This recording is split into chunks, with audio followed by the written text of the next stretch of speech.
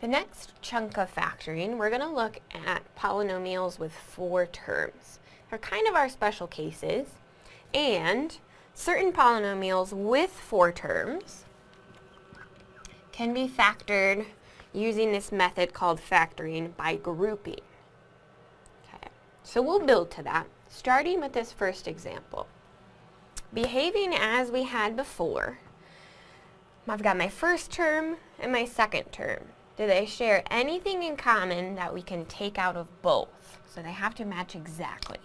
So I've got x plus 1 and x plus 1 that they both share in common. So if I take that factor out of both, what am I left with? So if I take x plus 1 on my first term, I've got x squared left over. And if I take x plus 1 out of the second term, I've got 2 left over and it's factored like this. So it's basically factored by grouping, but we're starting from the third step. So from the very beginning, factoring by grouping, we have to group the first two terms together and the last two terms together. And whatever sign is on that third term needs to go with the third term. So it's positive, so it doesn't matter that I can just group it. 2x is positive.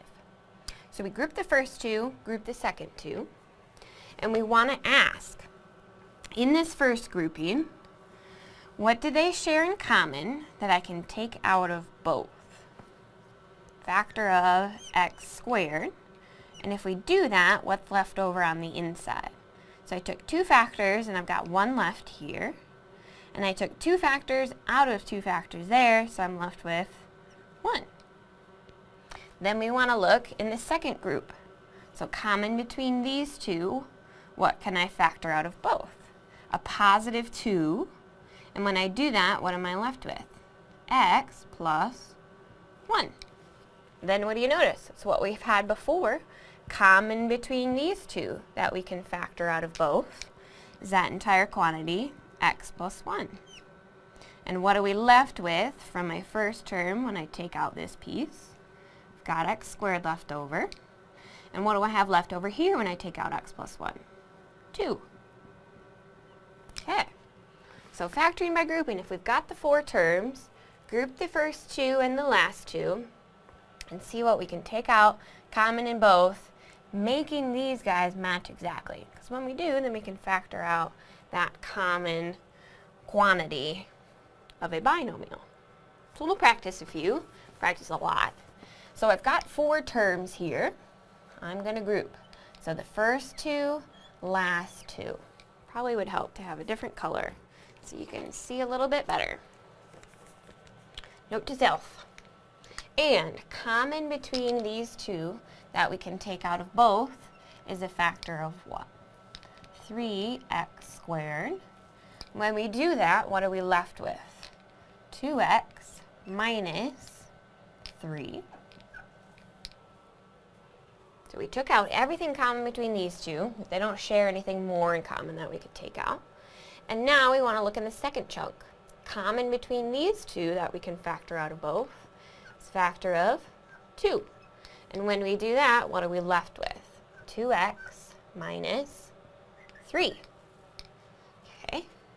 So we still have two terms. Here's my first. Here's my second. Do these two share anything in common that we can factor out of both? Matching exactly, matching exactly. So if we take that out, if I remove the quantity 2x minus 3, what are we left with? From my first term, I have 3x squared left over. And from the second one, I took out this part, so I'm left with positive 2. So factoring by grouping, group the first two and the second two, take out what's common, then, if they share factors in common, keep going. Take out the greatest. So part B, first two, last two. Common between the first two that we can factor out of both is x squared. When we do that, what are we left with? x plus 1. And I need these insides to match exactly. I need x plus 1 and x plus 1. And I've got that. So what can I factor out of here that's not going to change it at all? What can I always multiply or divide by without changing anything? I can take out a 1, and it's not going to change that inside factor. So looking common between these two, we've got x plus 1 that we can take out of both. And what are we left over with? x squared and positive 1. And if you can recognize that these factors match exactly, we don't have to write the 1 out on the front. But I think it's helpful because when you're factoring in the next step, you automatically have what's left over there. You're not going to be um, tempted to put plus 0 because then that whole term would be gone. We have that placeholder 1 that we need. So let's practice on a few more. Part C, again, grouping the first two and the last two. Now this one is negative, so the sign has to go with that third term. So I'm going to add that negative attached to x. So we can add, we can throw in a little plus sign there without changing anything. And common between these two that we can factor out of both. 2 x squared. When we do that, what are we left with? I've got 1x left over, and I'm subtracting 3. Okay, so we can kind of look ahead. I need these to match exactly. And what do we notice about them? They're exact opposites. So what do I need to factor out of this second term to make my insides match exactly here? I need to take out a factor of a negative. If I take out a negative 1, what are we left with? Negative divided by negative, positive. Positive divided by negative, negative. So now they match exactly. So common between these two that we can take out of both is going to be x minus 3. And what are we left with when we do that? 2x squared. And we're subtracting 1. And we can always FOIL it back out, make sure we get back to the original. Last one before you start trying a few. Again, grouping first two, last two. And common between these two that we can take out is an x squared. What are we left with when we take x squared out of x cubed? I've got one left over. x squared divided by x squared. Same thing divided by the same thing, 1 common between these two that we can take out of both. It's factor of 2, and we'll be left with x minus 1. But, looking now at my terms, do these match exactly? Can I factor those out? No, I've got a plus here and a minus there. So, this polynomial can't be factored by grouping. Can't be factored by grouping. So even if we have a four-term polynomial, it's not necessarily guaranteed that we can factor by grouping. It's just a nice method to try. It's a good first try. If I have four terms, I should try grouping, then factoring, but sometimes it doesn't work out.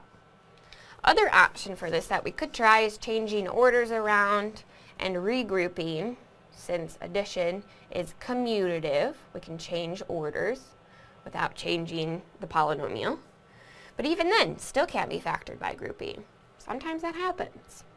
So go ahead and take the next four examples and factor by grouping. If you can't, tell me. So in the first, we've got t's involved, but that's fine.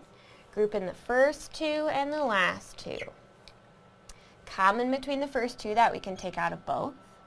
2t squared. And what are we left with on the inside now? 4t plus 1.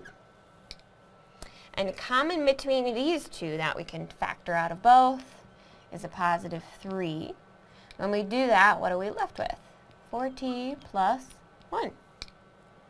Now look at common between these two that we can take out of both. Is that 4t plus 1? When we do that, what are we left with? 2t squared, and I'm adding 3. So we could factor that one. And again, we could FOIL it out, multiply it all out, make sure we get back to the original if you think you made mistakes. For the second one, the third term is negative, so that needs to go with the term. So I'm going to add a little plus in there so I don't forget. And common between the first two that we can take out of both. 3x squared. What are we left with? 1x minus 2. And we're trying to make these match exactly. They're opposites right now, so what needs to come out of that term? A negative. Everything will change sign.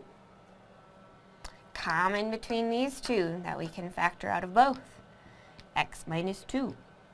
When we do that, what are we left with from the first term? 3x squared. From the second one, negative 1. Not so bad. Keep on keeping on. I've got another negative down below. So that needs to go with the third term. Common between the first two that we can take out. y cubed. We'll left with y minus 2. Common between these two that we can factor out is negative 2. When we do that, we're left with y plus 5. But what do you notice here? Do these match exactly? excuse me, no. These are not matching, so what about this polynomial? Can't be factored by grouping. Can be factored by grouping. Sometimes that happens. Could try changing the order around. Regrouping, trying to factor again, not going to get you anywhere. And last, first two, last two common between the first two that we can take out of both is 3m3. What are we left with? m2 minus 5. And common between these two that we can factor out of both is a factor of positive 2. We'll be left with m squared minus 5. So what are we looking at? Common between these two that we can take out of both is m squared minus 5. When we do that, what's left over? 3m3 plus 2. And again, we can always check. FOIL it back out, make sure we get back to the original four-term polynomial.